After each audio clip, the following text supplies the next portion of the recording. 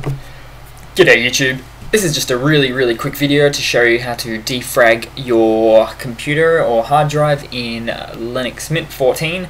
Now uh, defragmentation of the drive isn't needed half as much on Linux as it is in Windows in general just because of the file system types but um, it is occasionally still needed especially when you see things are starting to slow down. So the name of the program is E4 defrag and I'll show you that now. So open up a terminal, Control Alt T and if you type in E4 defrag and hit enter you'll see that the uh, program actually is there, the application. So it comes default with Linux Mint, so that, that's really good to see.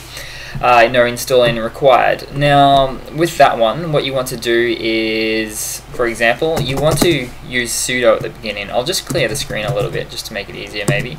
So, you want to uh, have root privileges to do this, for it to work at least anyway.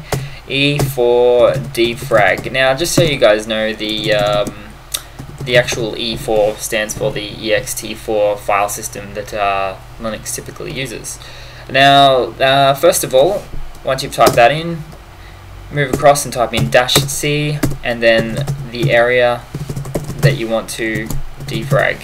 In this case, I want to, for example, defrag the desktop. So the C uh, parameter here means account, so account of what you actually want to defrag. So you'll uh, be able to see what uh, will defrag.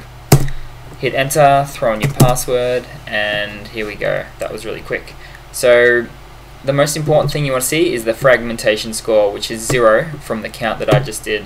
And You'll see uh, 0 to 30 means no problem, no need to do a defrag. If it's 31 to 55 or 56 plus, then you really do need a defrag. And to do the actual defrag, all you need to do is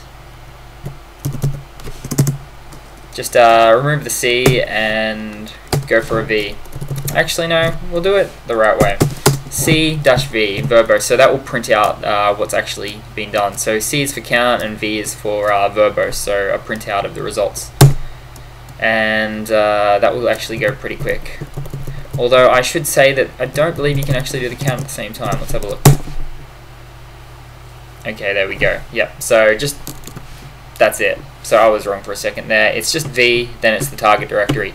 So we've got success, 10 out of 13, failure, 3 out of 13, total extents, 10 to 10 and fragmentation percentage which will usually be a bit bigger. There is nothing to fragment on this computer because it's quite a new one. So that's pretty much it. Anyway, I am rambling on, but uh, that's pretty much it guys. Uh, this was just meant to be a really quick video to show you how to do that and uh, to see if your um, computer does need to defragment, all you have to do is that line for example and the directory that you want to check. And that's the most important thing there, the score. So, cheers, guys. Hope you've enjoyed. Sorry for rambling on, and uh, hope you have a good one. Cheers. If you have enjoyed, please subscribe. Thanks for your time.